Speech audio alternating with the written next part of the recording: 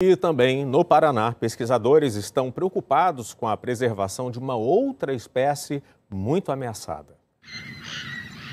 Esse é um refúgio para uma espécie que só existe aqui: o papagaio de cara roxa. São 9 mil aves que vivem no trecho de Mata Atlântica que vai do litoral de São Paulo até Santa Catarina.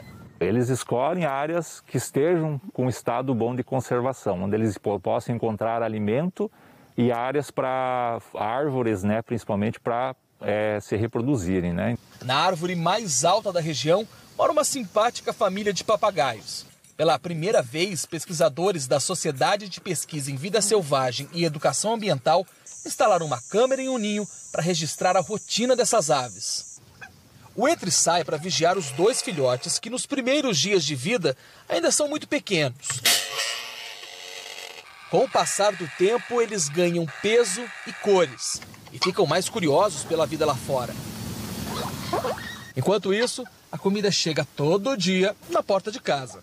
Os pais vão ao longo do dia várias vezes alimentar, cuidar, então tem todo esse cuidado aí que é característico da família dos papagaios.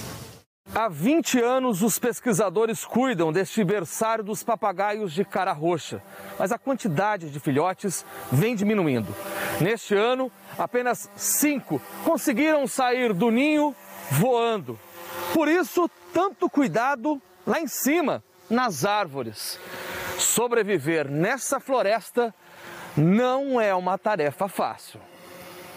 Seu leco escala os guarandis, árvores de pelo menos 15 metros de altura, para cuidar dos ninhos artificiais. São mais de 120 espalhados pela floresta. Eles dão mais proteção e segurança aos papagaios durante a época de reprodução.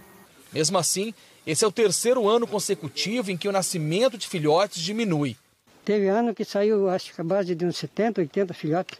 Ou mais até. E dessa vez agora só cinco? Só cinco.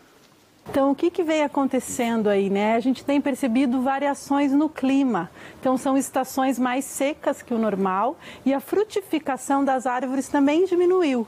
Então, tinha, havia poucos papagaios nas ilhas, onde eles se reproduzem, e tinha mais papagaio na região continental. Então, isso afetou a reprodução, né? A família de papagaios de cara roxa também convive com uma mata atlântica perigosa. Quando os pais saem, os filhotes viram presas fáceis.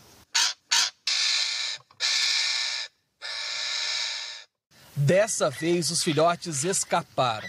Depois de 50 dias no ninho, chega a hora do primeiro voo. Os filhotes se juntam a outros papagaios de cara roxa e a cada amanhecer enfeitam o céu do lugar em que escolheram para viver. Saber que um filhote, dois filhotes voaram, estão aí na natureza, é muito emocionante, é um sonho, é uma realização, sim. Lugar de papagaio é na natureza, é na floresta.